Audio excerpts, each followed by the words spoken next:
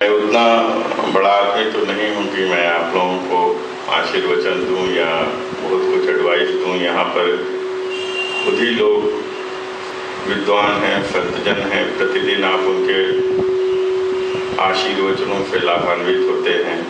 मैं भी उसी क्रम में इसी कड़ी से जुड़ने आया था। मुझे कहा गया है, मैं आपको बताऊँ उसके लायक तो मैं नहीं। हूँ करीब स्कूल के दिनों में जब मैं था, आठवां या नौवां में पढ़ता था तो एक बहुत अच्छे योगी अब तो स्वर्गीय हो चुके श्री गुरु अधीन प्रसाद वर्मा थे बिहार शरीफ में, वहाँ उनसे मैं जुड़ा था और फिर वहाँ से गायत्री परिवार से जुड़ने का मौका मिला।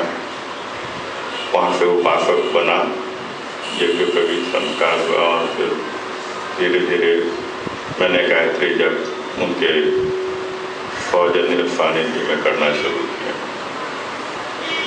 उन्होंने बताया कि गायत्री वस्तुतः क्या था? गायत्री महाविज्ञान प्रथम भाग मुझे मिला पढ़ने के लिए, मैंने पढ़ा।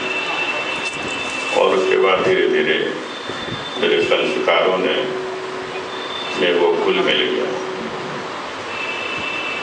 जब मैं आठवां में था तो मुझे बताया गया कि चैत्र ज्येष्ठ और आश्विन के अनुष्ठान होते हैं, वो करना चाहिए। मैं शुरू से ही वेजिटेरियन रहा था, इसलिए मुझे फलाहार नौ दिन करने में कोई दिक्कत नहीं होती। मैं फलाहार रह करके सत्ताईस माला से गायत्री जब तीन माला से हवन करता था, नौ दिन तक, नौ या सत्ताईस दिन तक, वर्ष में ट्वेंटी सेवन डेज़ होते। मैंने पाया कि जो चारित्रिक उच्छृंखलताएँ कभी कभी आती थी, वो सब शांत प्राय हो गई थी और मैं कहीं किसी भी चीज़ों में उलझता नहीं था। धार्मिक माहौल था मेरे परिवार का, मेरे पाँच भाई थे। सभी भाइयों ने गायत्री जब का लक्ष्य रखा था वो करते थे, फिर दुर्गा सप्तशती का पाठ वगैरह होता गया, यानी कि धर्म का माहौल मेरे घर में था। और उन्हीं माँ की बदौलत है कि हम सारे लोग सभी भाई शनय शनय धीरे धीरे प्रशासन में चलते आए। कोई आईएएस हो गया, कोई कुछ हो गया। आज मेरा एक भतीजा आई पी एस में टॉप किया, वो भी गायत्री उपासक थे बाईस साल का आप सब लोग भी इसमें जुड़े हुए हैं। आप ये समझें कि माँ का जो आशीर्वाद है, वो आपके साथ है और साथ ही है, इसलिए आप यहाँ पर हैं। अन्यथा गली पूजों में भटकते रहते हैं। इसलिए मात्र यहाँ आना, यहाँ से जुड़ना ही आपके लिए शांति और थोड़ी थोड़ी कहूँ तो गर्व की बात है कि आप यहाँ से जुड़े हुए हैं। पटना में मैं बहुत पहले भी पदस्थापित रहा था, उन दिनों भी मैं चाहता था यहाँ आना लेकिन कुछ समय की कमी, कुछ मेरा सौभाग्य नहीं बन पाया था, मैं नहीं आया। पीछे के चंद दिन पहले महात्मा जी मेरे यहाँ आए थे, चैम्बर में। अब ये तो मैंने मैंने कहा कि मैं ज़रूर आऊँगा।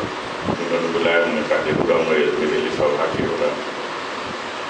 मैं वर्दी में नहीं आता, परंतु आप जानते हैं रविवार हो, सोमवार हो, कुछ भी हो, मुख्यमंत्री का एक वेब प्रोग्राम बन गया स्टेशन पर। तो मुझे जाना पड़ा, मैं चीफ मिनिस्टर के साथ, उनके मूवमेंट में जुड़ जाता। इसलिए मैंने वर्दी मान ली और वर्दी में चलाया। इसके लिए आप लोग अन्यथा नहीं है। पाजामा कुर्ता में आता मुझे आसानी होती बैठने में आपके सामने मैं चेयर पर बैठ गया, बुरा लगा। लेकिन कोई उपाय भी नहीं। मेरे लिए, आपके लिए, मैं जो, अभी चूँकि आप निश्चित तौर पर अपेक्षाकृत मुझसे कम उम्र के हैं, आप सारे लोग, मैंने थोड़ी सी बात ये भी कहा कि, जब दुनिया में आए हैं तो स्वार्थ है, अभी आपका स्वार्थ है, आपका करियर बनाना, आपकी अपनी ज़िंदगी को एक दिशा प्रदान करना, और उसमें मैंने पाया, आप मुझे देख लीजिए। मैं बिल्कुल साधारण सा स्टूडेंट था, और इनकी कृपा थी। मेरा अपना, मेरी अपनी उपासना थी। उन्हीं की कृपा से, माँ की कृपा से उपासना थी। उन दिनों पंडित श्री राम शर्मा आचार्य जीवित थे अध्याय तब मेरी और ही इच्छा होती थी स्कूल डेज़ में ही कि मैं मथुरा जाऊँ और मथुरा जाकर के उनके दर्शन कर। उन दिनों कम उम्र था और अपने ऊपर निर्धारित मेरा जीवन नहीं था। पिताजी माता जी जाते सौभाग्य नहीं मिला उनका देहावसान हो गया निर्वाण हो गया तब मैं हरिद्वार गया शांति कुंज गया वहाँ पर बैठा मेरी बड़ी इच्छा है यहाँ पर शांति पीठ में बैठा मैंने प्रत्यक्ष देखा था कि आ, मेरे बड़े भाई अभी स्पेशल सेक्रेटरी आई है उन दिनों वो अपने शैक्षणिक अवस्था में कुछ कर नहीं पा रहे। मेरे पिताजी ने बयालीस दिनों का गायत्री अनुष्ठान किया था फलाहार रखकर। और वो Bihar service, Bihar public service commission में सेलेक्ट हो गए उसके तुरंत में। खैर, हम लोगों की शुद्र भावनाएँ हैं, हम लोग उपासना करते हैं। उपासना का तो उद्देश्य बहुत बड़ा है। मुक्ति प्राप्त करना है अपने अहम को त्याग कर अपनी व्यक्तित्व को देखते हुए उनमें एक आकार करना, जीवन का लक्ष्य होना चाहिए। वही कई जन्म जन्मांतर में ही हो पाता है, अगर आप बहुत अच्छी योगी हैं। लेकिन जब शरीर मिला है अब यहाँ पर हैं तो शरीर को कुछ मिले। इसके लिए हमें अपना करियर पर ध्यान देना पड़ता है। तो जो सामने है, वहाँ से वही मांग लेते हैं कि मुझे फला बना दो, फला बना दो। हालाँकि बहुत शुद्ध मांग है मांग तो होनी चाहिए दूसरी, लेकिन आप जो नहीं भी मांगते हैं, वो आपकी आत्मा में छुपा हुआ माँ तो जानती है कि वस्तुतः आपको कहाँ पहुँचवा देना। आवश्यक नहीं कि आप माँ से मांग ही लें। शब्दों से मांग लेना आपके इस मनुष्य शरीर की बात हो सकती है, परंतु अंतर्मण में जो कुछ छुपा बसा है, जिसे आप भी नहीं जानते, वो माँ जानते वो आपको मिलेगा। ज़रूरत इस बात की है कि आप सब लोग हमेशा शुद्ध मन से आप जानते हैं गायत्री मंत्र ही पूरा का पूरा क्या है? तो अगर आप ध्यान करते होते हैं, अगर आप लक्ष्य की ओर हैं, ध्यान का मतलब ये क्या है? अपने लक्ष्य की ओर लगे रहना। मैं बहुत कुछ नहीं जानता हूँ, मैं बता दूँगा लेकिन मैंने ये ज़रूर देखा है कि आपको तुरंत इससे शक्ति और तुरंत आपके आवश्यकताओं की पूर्ति होती। मैं खड़ा हूँ। मेरे भाई, खड़े हैं, मेरा भतीजा हो गया। तो सांसारिक जो मांग है, वो तो पूर्ति होती। मेरी इच्छा थी कि मैं हरिद्वार जाऊँ और बयालीस दिन का अनुष्ठान वहाँ पर कर करूँगा, निश्चित करूँगा, लेकिन पुलिस सेवा में वो एक एक दिन की छुट्टी में एक घंटे के भी अवकाश के लिए तरसता हूँ लेकिन, जब मैं सेवा निवृत्त होऊँगा, अभी समय है उसमें तो मैं करूँ आप लोगों से भी यही अपेक्षा है कि आप लोग जितने हैं यहाँ पे, बड़ी खुशी की बात है कि कोई इसमें मध्य पान नहीं करता, कोई जुआ नहीं खेलता, कोई इधर उधर की बात नहीं सोचता।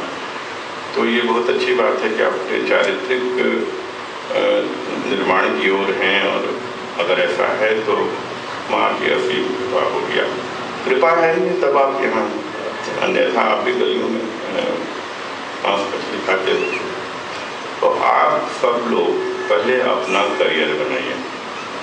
देखिए जो चार आश्रम थे तो उस आश्रम प्रथम आश्रम की तरफ़ की ओर हैं आप लोग तो आपको अभी अपना करियर बनाना है, शुद्ध करियर बनाना है।